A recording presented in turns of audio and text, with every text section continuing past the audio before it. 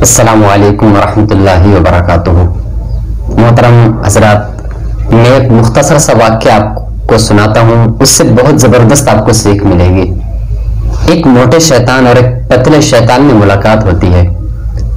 پتلا شیطان موٹے شیطان سے کہتا ہے، بھائی، تم نے بہت جان بنا رکھی ہے۔ یہ اتنے اچھے اچھے لباس، یہ سنگھار، اتنے خوبصورت لگ رہے ہیں۔ کیا بات ہے؟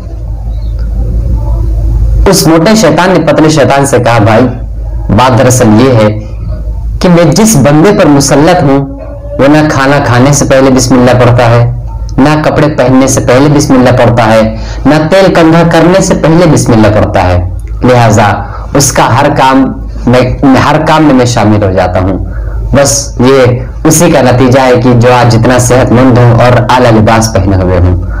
خیر، موٹے شیطان نے پتلے شیطان سے کہا آخر تم تو بتاؤ، یہ تم اتنے لاغر اور کمزور کیسے ہو؟ تو اس پتلے شیطان نے کہا، بھائی، بات دراصل یہ ہے کہ میں جس بندے پر مسلط ہوں، وہ کھانے سے پہلے بسم اللہ پڑھ لیتا ہے، تو میں کھانا بھی نہیں کھا پاتا۔ کپڑے پہننے سے پہلے بسم اللہ پڑھ لیتا ہے، تو میں برہنا ننگا رہ جاتا ہوں۔ اور تیل گنگا کرنے سے پہلے بسم اللہ پڑھ لیتا ہے، تو میں اسی طرح پرا گندا رہ جاتا ہوں۔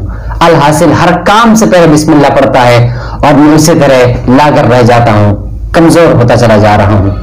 پتا چلا، اگر بسم اللہ نہ پڑھا جائے، تو ہمارے کام میں شیطان شریک ہو جاتا ہے۔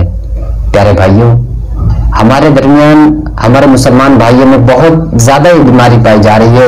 کوئی بھی کام کرنا بس فٹاک سے کر لیتے ہیں۔ یہاں تک کہ کھانا کھانا اتنی بڑی نعمت ہے، اس میں بھی بسم اللہ پڑھنا بھول جاتے ہیں۔ پیارے بھائیوں، ہمیں چاہیے ہم نعمت کی قدر کریں، کیوں اپنے دشمن کو شیطان سب سے بڑا دشمن ہے۔ نا قرآن نے کہا، ان شیطان عدو مبین. بے شک شیطان کھلا دشمن ہے ہمارا۔